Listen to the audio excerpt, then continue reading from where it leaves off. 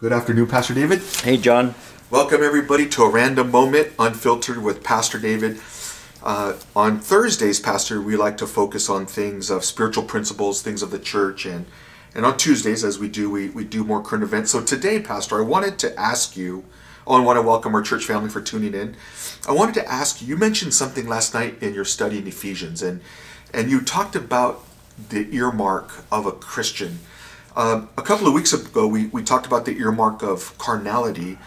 And, you know, today when we see a church that is divided in many ways, right? We, there's churches that are political, there's churches that are, I mean, there's so many different things that are going on with the church. How is it if the earmark of Christianity, if I'd like you to explain what that is, how would that be lived out in a time when it seems like everybody's against each other? Excuse me. That's a good question. Um, it really is. It's the question of the ages. You know, how, how does how does somebody um, evidence of faith in in God? And there's quite an obvious array of things. You know, there's the uh, there's um, obvious transformation that takes place from walking in darkness to now walking in what the scriptures calls the light of life. There's uh, an attitude of humility. There's a sacrificial um, a way that that person begins to live, caring about others and all of that. There, there is the patience that they experience during hard times and trials. There's the exhibition of faith that they uh, may um, uh, once in a while actually reveal as they, they trust the Lord for certain things and all. I mean, there are various things that are characteristics of the disciple of the Lord Jesus Christ, but Jesus said, He said, By this shall all men know that ye are my disciples. And then He said, If ye have love one for another.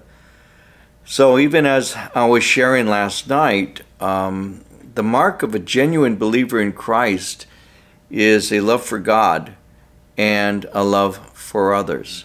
You know, the new commandment, he said to his disciples, is that he said, uh, You love one another as I have loved you. And the word new, when he said uh, this new commandment, is a word that has also been translated uh, novel or, or fresh.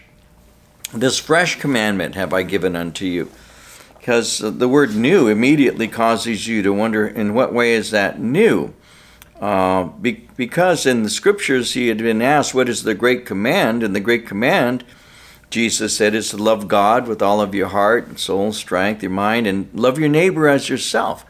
Those are Old Testament requirements, you know, to love God completely and to love others. And so when Jesus said, A new commandment I give unto you, that you love one another, that's really an old commandment. But then he says, As I have loved you. And so, this commandment that Christ gives to us is a commandment that's fresh and novel in the sense that how did Christ love us? Well, Christ loved us and he laid down his life for us. Greater love has no man than this, than to lay down his life for his friends, is what he said. And you are my friends if you do whatever I command you.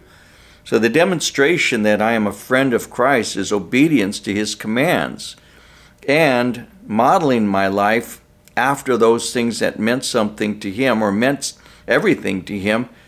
And it's exhibited not simply in the fact that I profess to have faith in God, but I love others. You know, how can a man say, I love God when he hates his brother? Is what John said in First John.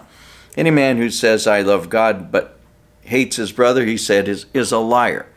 How can you love the invisible God when you can't get along with those whom you do see. And so, the great commandment or the evidence of a Christian is that patient endurance that is grounded in the love of God. And so, that in these these evil times is uh, clearly evident because when when it's very dark, the light will always shine brightly, right.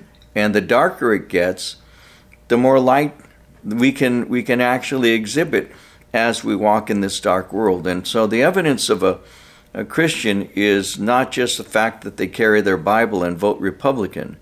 The evidence of a Christian is that they love their neighbor as themselves, is they lay down their lives for others, is they uh, that they serve God and they serve others, and and they do so not with a grudging obligation, but they do so because they, they love the Lord and actually do care for others.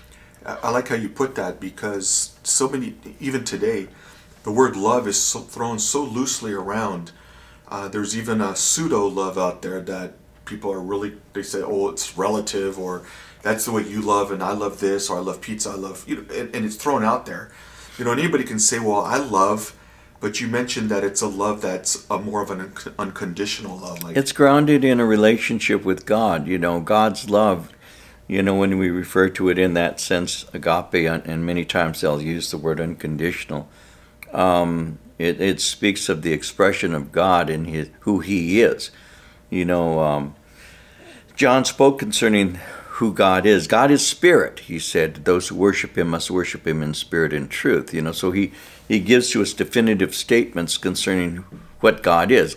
God God is spirit. He tells us very very uh, clearly God is light, and in him there is no darkness whatsoever. Those are called definitive statements. They are they are describing in a definite way what God is and what he is like. And then he said, He who loves not knows not God, for God is love. And so the love of God is, uh, is a manifestation in reality of who he actually is, what his being is. And his being is, is, is he's a loving God who loved the world so much that he sent his son to take upon himself the sins of these evil, even evil human beings that, that had, uh, had initially been created in his image and then through temptation succumbed and, and became completely and totally depraved in, by nature, became evil and corrupt in every way.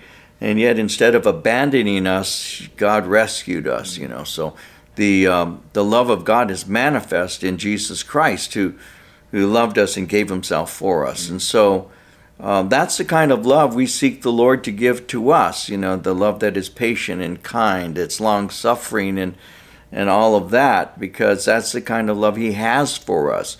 So yeah, that love should be manifest in every relationship that we have. You know, it should be it should be who we are, a loving person, a caring, compassion, compassionate person. Why? Because Jesus is that way, as I was sharing last night, and kind of uh, kind of like just tie it in with this. And uh, we don't want to keep the people here forever, but um, he was the one who who was so appealing that even outcasts, people who nobody would have anything to do with, found themselves at his in his presence. Mm. You know, a woman at a well who says, well, in reality, nobody wanted anything to do with her except for the men. Um, why do you why do you ask of me a drink? Why are you having personal contact with me? Why are you asking me to serve you? is in that in that question, and yet, if you knew who it was who's speaking to you, Jesus said, you would have um, asked me for the water that I can give. See, so that's that's if Jesus is that way with people, and He is, He was that way with us. If He's that way with people, maybe we ought to ask the Lord to help us not to be pursuing the beautiful people in the church, the important people in the church that we can we can get close to. I, I, I sadly say this, but it's a true statement.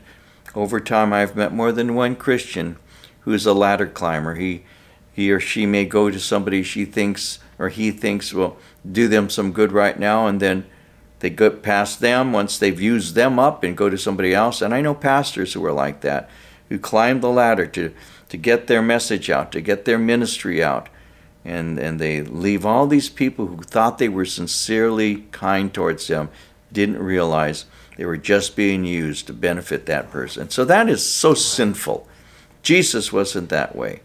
You know he, he sits at table uh, with publicans and sinners and the people begin to question the apostles. How is it that your master is eating with these sinners you know and um, only a physician uh, only a sick person goes to a physician I didn't come to call the, the well, I came to call the sick. And so that, that was Jesus. And I'm not saying that I'm uh, by any means um, that that that good. You know, I just know that I should care about people. Amen. I mean, because we were care, so cared about. We were cared for.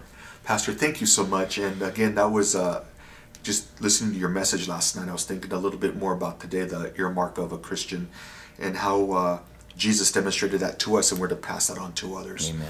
So, Pastor, thank you for sharing. Church family, want to make sure we invite you out to our church services on Sunday, 8:30 a.m. and 10:45. And Pastor, you're taking us through Mark chapter Chapter eight. chapter eight, starting chapter eight. Uh, no, actually, we'll be in verses 11 through I think around 22, somewhere around there. I forget the, the verse number, but uh, yeah, we're it's it's a great study. I'm I'm really looking forward to our time in the Word this Sunday. Even our Wednesday night studies. I mean, it's been I've enjoyed them. good. You guys got to come out for that. And uh, amen. Uh, again, you know, February second is February seventh is the last day you can purchase your tickets for our Super Bowl breakfast. Want to invite you guys to come on out and join us. You can purchase your tickets at the gazebo or online. Invite a friend and family. We're going to have a great time. And Pastor, thank you again so much for your time. Church family, thank you for tuning in, and God bless you. Amen.